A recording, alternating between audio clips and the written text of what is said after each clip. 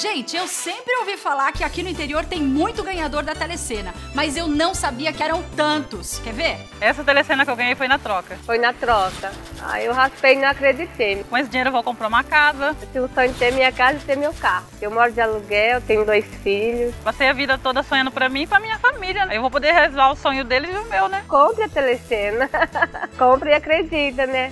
Dá gosto ver o nosso povo do interior ganhando, né? Garanta já a sua.